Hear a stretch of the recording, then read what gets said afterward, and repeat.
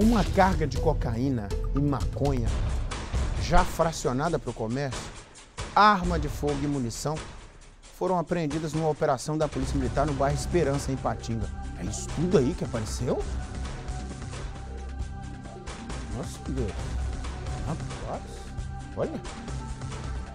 É. Que quantidade de coisa, hein, rapaz?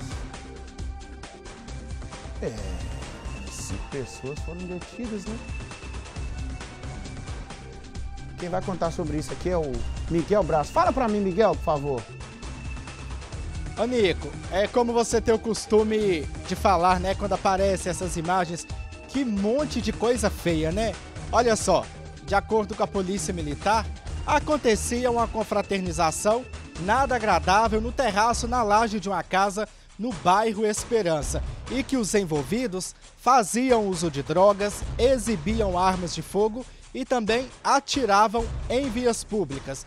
Então, alguns moradores viram, perceberam que o tático móvel estava em patrulhamento pelo bairro e decidiram avisar sobre esta ocorrência. Então, foi montada uma operação, a casa foi cercada, mas os envolvidos tentaram fugir mas não houve escapatória para eles não, viu? O tenente da Polícia Militar, João Gabriel Maróquio, detalha sobre esta ocorrência. Vamos acompanhar. Militares da Companhia Tático Móvel do 14º Batalhão receberam informações de que indivíduos envolvidos no tráfico de drogas, lideranças locais, estariam realizando uma reunião regada a bebidas, entorpecentes, exibição de armas de fogo e disparos em via pública.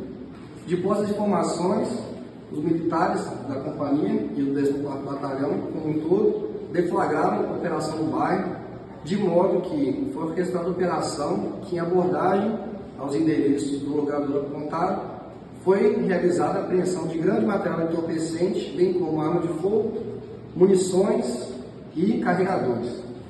Deste modo, foram apreendidos no local materiais para dolagem, duas balas de precisão, um total de 650 porções de maconha, quatro carregadores, uma pistola 9mm, 16 munições, um total de 83 cápsulas deflagradas, 108 pinos de cocaína, bem como um total de 480 reais, três porções de cocaína e uma, um pedaço de barra de maconha.